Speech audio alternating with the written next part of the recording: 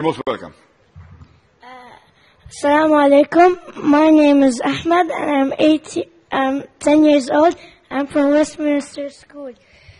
And my question is, why has Allah challenged Shaitan and given him this chance to misguide us when Allah knew the nature of his creation as human being?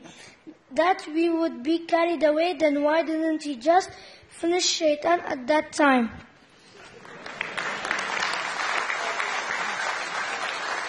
The young lad has asked a very good question that why did Allah challenge shaitan and give him a chance to entice the human being? Why doesn't he finish him and completely?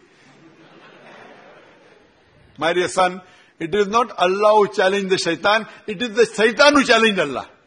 It is opposite. Iblis was one of the best jinns. He was very pious.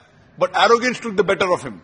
When Allah subhanahu wa ta'ala asked him to bow down to Adam, he said, why should I bow down to a person who's created from mud when I was created from light? From fire, sorry. The jinns were created from fire. So he was arrogant. He was very obedient initially. He was very pious.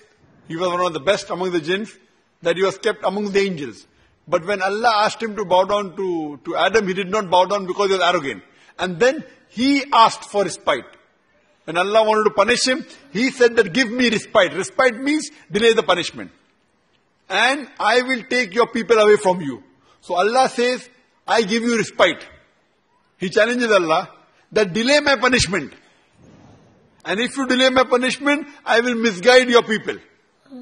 So then Allah tells him, I give you, I delay a punishment, I give you respite till the day of judgment.